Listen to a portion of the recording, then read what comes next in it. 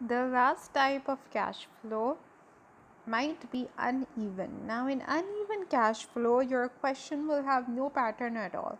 So, any amount can come at any year.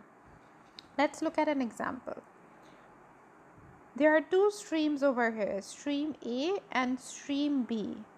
At stream A, you can see that at the end of year 1, there is 100. At the end of year 2, 400. At the end of year 3, 400 again. At the end of year 4, 400. And at the end of year 5, 300.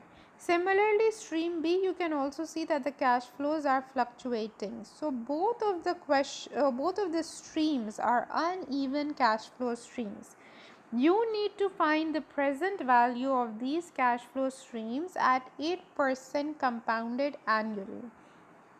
So we will use this formula once again. Remember this formula is something that can be used in every case. Only equal cash flows have their own specific cash flows that are a shorter way of doing that. Now, if we want to use this formula over here, because this is a single cash flow formula, it means that you will have to discount back each and every cash flow and then sum up your answers. That means this 100 will go back one year. The second 400 will go back two years, 1 and 2. Similarly, the third 400 will go back 3 years and so on. So if we look at the solution, it means you will solve it this way.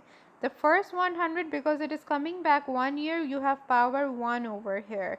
The second 400 because you're bringing it back 2 years has power 2 and so on. The last one, if you look at the last 300 because you're bringing it back 5 years, it has power 5.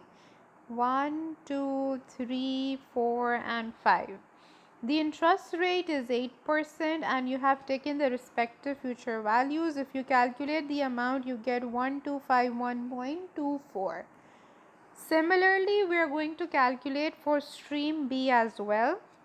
So, if you calculate for stream B, the 300 will come back one year. This 400 will come back two years. So, power 2 the next 400 will come back 3 years so power 3 and the last uh, the second last 400 will come back 4 years and the last 100 will come back 5 years. So the powers will change accordingly. And over here the answer is coming 1300.31 so out of both of the cash flows which one has a higher present value. This one has a present value 1251 and this one has a present value of 1300. So this one has a higher present value. If this is a cash flow stream of income, you would prefer the higher present value. If I'll repeat this, if this is a cash flow stream of income. Let's say uh, these two streams pertain to the income you might get from two contracts contract a and b.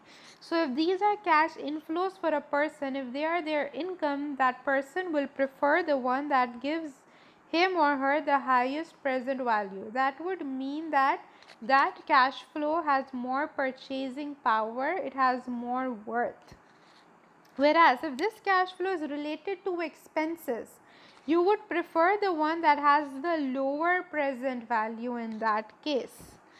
So if this is an income, you would prefer stream B.